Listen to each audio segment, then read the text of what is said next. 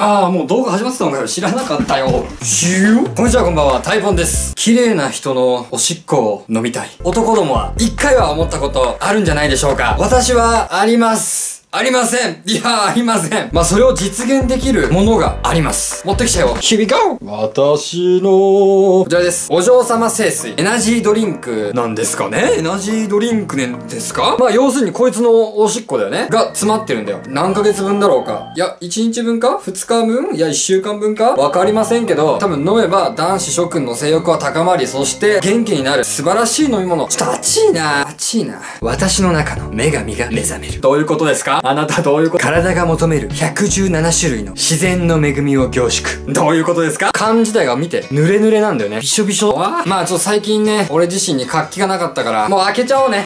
あー、シュワシュワ言ってんな。うーわ、匂いはすごいよ、これは。なんて表現したいんだろうな。昨日家系ラーメン食べましたみたいな匂いしてる。ちょコップ持ってきたんで、ちゃんと、ああ、もうこれはまずいよ。まずい色してらっしゃるよ。ちょっとビタミン取りすぎなんじゃないの？ねえ。最近俺はこれを食べてる。バーイと。でまずじゃあ、スメルから、香りからね、堪能していきたいと思います。真面目に答えていい？俺本当にふざけとかじゃなくて、本当に普通に答えると、リアルにおしっこの匂いするんだけど。気のせいかなこれ。え？本当にするよ？バカさっき本当に言ったけど、家系ラーメン食べた後のおしっこみたいな。ビタミン取りすぎなんだよね、あと黄色いから。チョコラ BB 多分飲んでるよ、これは。匂いは本当に。え？もう、もう、嬉しいんだから。飲みたいと思います。いただきます。失礼します。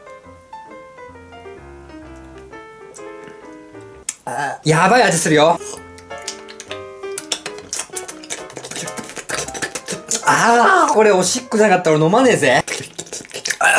喉に入った。飲料の宝箱や。俺これね、数々のエナジードリンクを俺飲んできた。だがしかし、ちょっとこれ受け付けられませんね。待てよ。意外と後味美味しいか？海外のお菓子のグミの味がする。これ多分伝わる人には伝わるよ。おしっこしたくなってきた。今この動画見てる YouTuber の人にちょっと俺がネタ提供します。お嬢様聖水の中におしっこを混ぜてもバレないんじゃないか説。なんか誰かにドッキリみたいな。やってください。これはいかん今日はちょっとお嬢様聖水というね、あの、この美女のおしっこを飲んでみたんですが、いや、匂いはガチで、でガチでおしっこの匂いする家系ラーメン食べた後のおしっこの匂い。味は若干おしっこの味するし、海外のグミの味がする俺は好きじゃない。どうなんだろうね。おしっこだからやっぱり活力は上がるかもしれないけどね。お嬢様清水飲んだことにより、ちょっと俺の性欲は高まってきましたんで、今からちょっと絶頂の向こうへ行きたいと思います。次回の動画は、緊張を大きくする方法を皆さんにお教えしましょう。それではここまでご視聴ありがとうございます。この動画が良かったと思ったらグッドボタン、まだチャンネル登録してない方はぜひチャンネル登録よろしくお願いします。それじゃあ、